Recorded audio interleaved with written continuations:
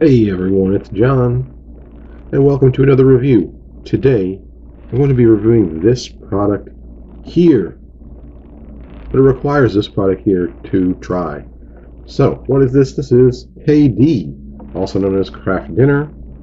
The original flavor, and of course that is a product prepared in Canada. Um, this that I have in my left hand is KD Flavor Boost. And this, is, of course, is jalapeno flavor. It looks better than the picture. I'll tell you that for sure. The picture just looks like someone spray painted green on the regular noodles.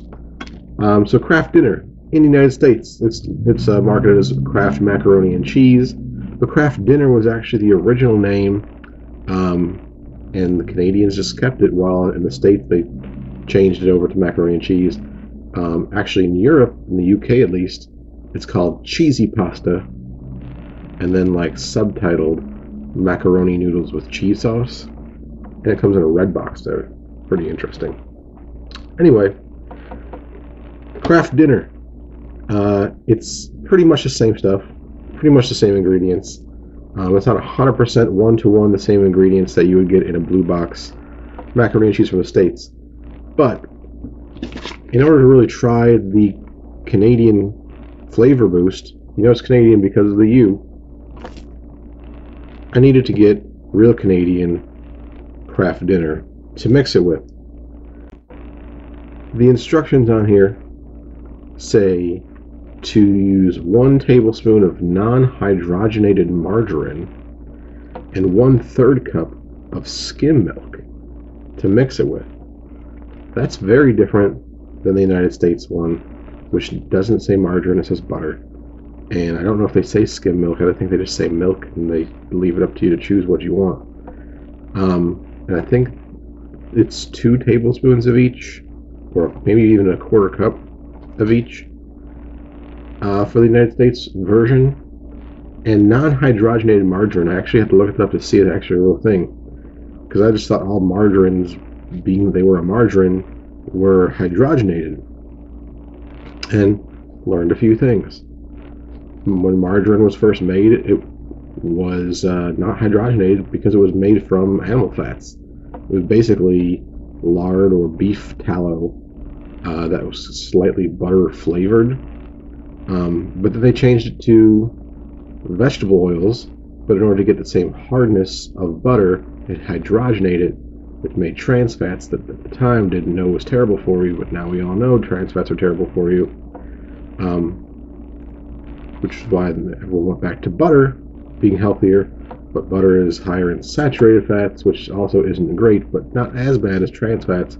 Because whereas trans fats you should have absolutely zero of, uh, there's a safe amount of saturated fats you can eat in a day. Um, but this one says non-hydrogenated margarine which I had to find out it's a very soft version of margarine.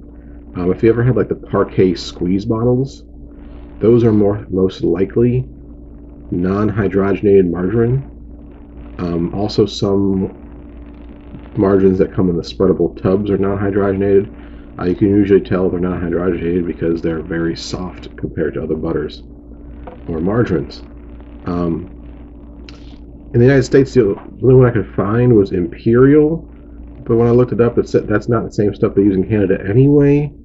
Um, so I just went with butter and 2% milk, which is what I had. So it's not completely to the specs on the box, but do people in Canada really use the non hydrogenated margarine and skim milk? I doubt it. Um, another thing the flavors that you can get of this are usually just cheese based. Um, there's original, sharp cheddar, three cheese. Uh, there's an Alfredo as well. Uh, way back, I think it was like 2014, I saw. They actually had, in the United States, macaroni and cheese jalapeno with three E's. It's called three cheese jalapeno on the bottom. Um, and that one uh, is no longer available, of course. And there is also, I did a review of this one, macaroni and Cheetos, which I do not think is a Kraft item, but it's very similar. Uh, I just got spirals instead of the macaroni noodles, and that one had a jalapeno flavor as well. So, jalapeno as a flavor boost is not really something too new or unusual for macaroni and cheese or Kraft dinner. But let's see. Here's what it looks like in the bowl. As you can see, it looks more like actual like dried or rehydrated jalapeno bits instead of this mess that really just looks like a bad Photoshop. Okay. You hear the macaroni noises? That's fine, you know it's good. Alright, here we go. Kraft dinner with jalapeno flavor boost.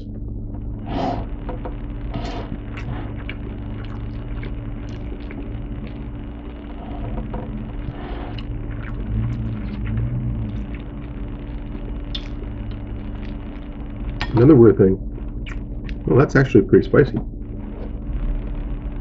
The instruction, the uh, nutritional information on a box of Kraft Dinner and on the back of the flavor boost thing, it'll tell you how big a serving size is. It will tell you the calories as sold and as prepared.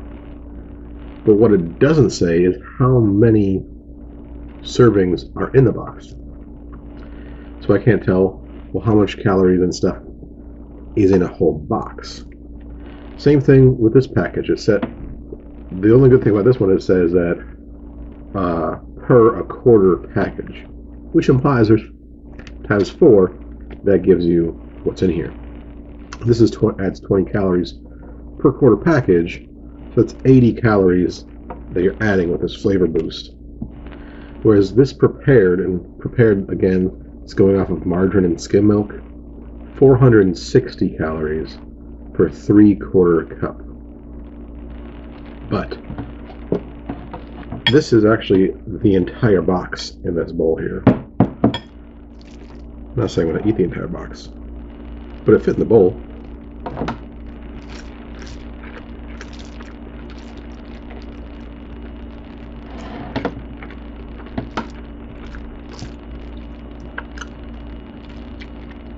So, a couple things.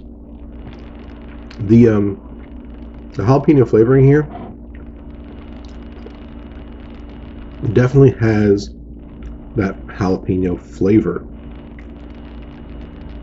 Where it actually tastes like a pepper, like uh, bell peppers have a sweet flavor to them, but jalapenos they're not just spice. There's also a distinct jalapeno flavor, and I'm actually I'm picking that up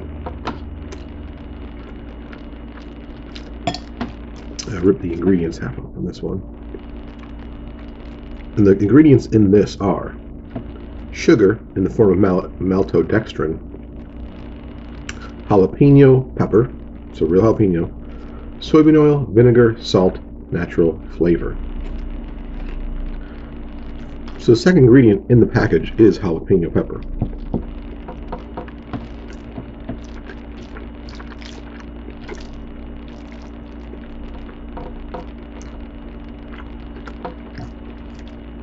And I'm assuming the maltodextrin is really to hold all that together,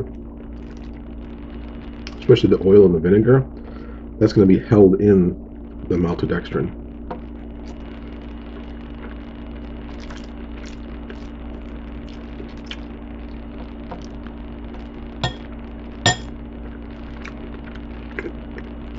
The uh, the little bits of jalapeno they actually have like a little bit of they're not huge, right? But when you bite into them, it actually tastes like they've somehow soaked in some of the liquid. In this case, it'd be like milk or butter liquid. And a little, just got plumped up a little bit. And now you have like a little bit of a bite, a little crunch.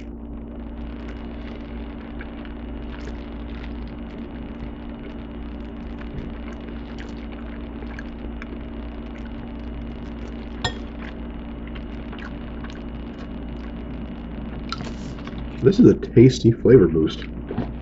Before I did this, I didn't do like a video review of it, but before I started this this review a couple days ago, I actually made a box of this with no flavor boost, so I could get kind of like a baseline uh, flavor from it. And I was actually kind of disappointed. Um, it uh, was on the bland side, and I, I wanted to say like not as good as the American box macaroni. And I did a little web searching, and people on Reddit have said that they've changed their recipe in the last five or so years um, in order to make it healthier, get rid of some artificial ingredients and make it more all natural. And people are saying that that change has made it so it doesn't taste as good. Although, lots of times, any type of change people can get upset about, so you don't know if that's just uh, a change bias or if actually does taste different. I can tell you with this added flavor boost, the flavor is definitely boosted. You get a good amount of cheese, pepper, spice, all mixed up together. I did review um, my mac and Cheetos review of the their jalapeno flavor before I did this. I gotta say, it doesn't really compare, even though they're both jalapeno. This one really has a different experience, just because the jalapeno pieces in here give it a different texture. That was a spiral noodle. This is a macaroni noodle. The cheese is a little bit different.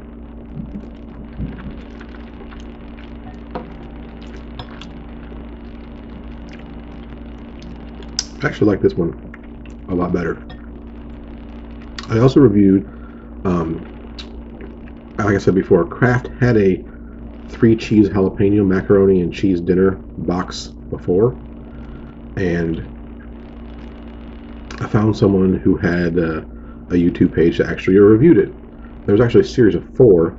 It was jalapeno, buffalo, chipotle, and herb and cream I watched all four of them, and he didn't seem very. Excuse me. He didn't seem like he enjoyed it any better than regular. They kind of seemed like a. Excuse me, just slight flavor differences. But I can tell you this flavor, after I add the boost, way different than it by itself. The jalapeno flavor comes through, has a really good amount of spice to it.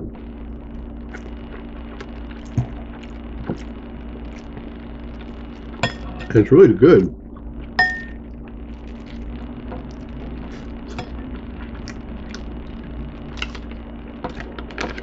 There are six of these. And I'm going to be reviewing all six eventually.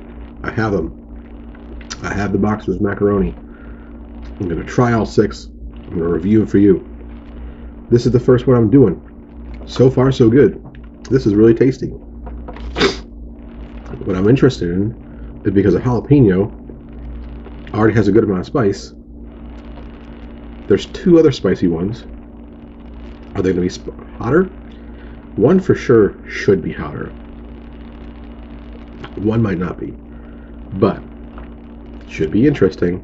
Hopefully it's not the blow me away type of spice on that one. Nobody wants that. But I am impressed. This one gives I'm going to give a thumbs up to this one. Kraft America. This one gets my approval. If you want to bring this to the United States, I would recommend my fellow countrymen to try it. Uh, it's available on eBay. You can get it shipped to you. I'm sure it'll work just as well with regular blue box macaroni and cheese. I just wanted to be uh, kind of dumb for my channel like I typically am and get something from Canada to mix it with. But one for one, very good. I'll enjoy it. And that's it. Hope you enjoyed this video. Hope you enjoyed me making macaroni sounds. I hope you're looking forward to five more videos that will contain more macaroni sounds and five other different flavors of macaroni. So tasty. Like by giving a thumbs up to this video. Subscribe to the channel so you can see my other five videos where I do more macaroni and cheese flavors, plus a wide variety of other things. And we'll see you guys on the next video, whenever that may be. It's probably going to be the next macaroni video, though. But until then, bye.